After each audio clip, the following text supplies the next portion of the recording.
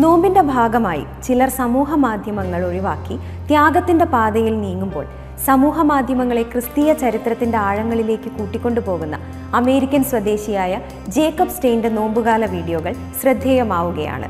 നോമ്പുകാലത്തെ ഓരോ ദിനവും ആദ്യകാല ക്രിസ്ത്യൻ രക്തസാക്ഷികളെക്കുറിച്ചും റോമിലെ ഏറ്റവും പുരാതന ദേവാലയങ്ങളെക്കുറിച്ചുമുള്ള വീഡിയോകളാണ് ജേക്കബ് പ്രേക്ഷകർക്കായി പങ്കുവെക്കുന്നത്. പുരാതന കാലത്ത് നോമ്പിന്റെ ഭാഗമായി ലണ്ടൻ സ്റ്റേഷൻ ചർച്ച് തീർത്ഥാടനം എന്ന പേരിൽ കത്തോലിക്കർ പ്രദക്ഷിണമായി സന്ദർശിച്ചിരുന്ന ദേവാലയങ്ങളുടെ സഞ്ചാരപാത പിന്തുടർന്നുകൊണ്ട് ഈ നോമ്പിന്റെ ഓരോ ദിനവും റോമിലെ ഓരോ ദേവാലയം വീതം സന്ദർശിക്കുകയും അത് മനോഹരമായി കാണികളിലേക്ക് ഇദ്ദേഹം എത്തിക്കുകയും ചെയ്യുന്നു. റോമിനെ അതിന്റെ പകിട്ടോടുകൂടി ജനങ്ങളെ കാണിക്കുവാനും രക്തസാക്ഷികളോടുള്ള റോമൻ ജനതയുടെ ഭക്തിയുടെ ആഴത്തെക്കുറിച്ച് ജനങ്ങളെ ഉദ്ബോധിപ്പിക്കാനുമാണ് തന്റെ ശ്രമമെന്ന് ജേക്കബ് പറയുന്നു.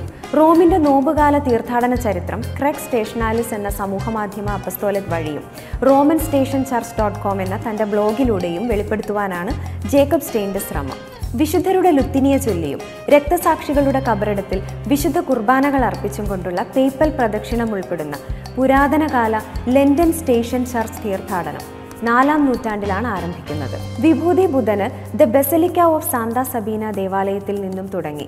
ക്രിസ്തുവിനെ തറച്ച കുരിശിന്റെ തിരുശേഷിപ്പുകൾ അടങ്ങുന്ന ജെറുസലം ഹോളി ക്രോസ് ബസിലിക്ക ദേവാലയത്തിലാണ് സ്റ്റെയിന്റെ വീഡിയോ അവസാനിക്കുക. റോമിൽ ദൈവശാസ്ത്രത്തിലും തത്വശാസ്ത്രത്തിലും പഠനം പൂർത്തീകരിച്ച ശേഷമാണ് സ്റ്റെയിൻ തന്റെ ഈ സോഷ്യൽ മീഡിയ ശുശ്രൂഷ ആരംഭിക്കുന്നത്.